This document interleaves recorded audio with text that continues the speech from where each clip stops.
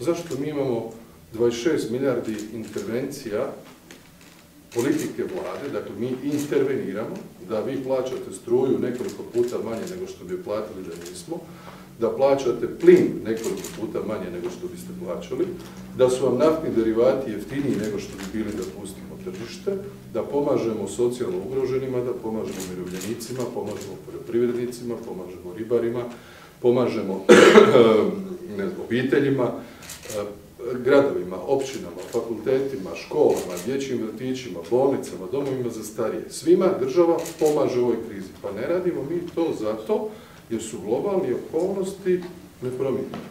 Nego zato što je Rusija izvršila brutalnu agresiju na Ukrajinu, gdje su deseci tisuća ljudi poginuli, gdje su milijuni izbjeglica, gdje se bombardira i granatira sva infrastruktura kritična, energetska, prometna, kako god hoćete, gdje svaki dan su ljudi pod uzborama, gdje imaju redukcije struje, gdje su milijuni izbjeglica otišli u zemlje Europske unije i gdje se cijeli zapad solidarizirao bez presedana. I od svih članica Europske unije, da Hrvatska, koja ima svježe iskustvo, svih nas koji se sjećamo situacije od prije 30 godina, ima na sceni političke aktere, imaju problem sa čim? Sa dva časnika u zapovjednoj strukturi, sa osamdesetak instruktora u rotacijama u Poljskoj i Njemačkoj ili do stotinjak Ukrajinaca u Hrvatskoj. E ja to ne razumijem. Uz najbolju volju ja ne razumijem političku logiku onih koji imaju neku rezervu. Ja nisam čuo niti jedan valja logičan i razuman argument, osim ako je ono što oni nama demonstriraju, ja pokušavam dokućiti u čemu je keč, jer oni to nama demonstriraju kako biti protiv zdravog razuma i logike, ali ipak zadovoljni jer smo protiv prijedloga HDZ. Nema drugog.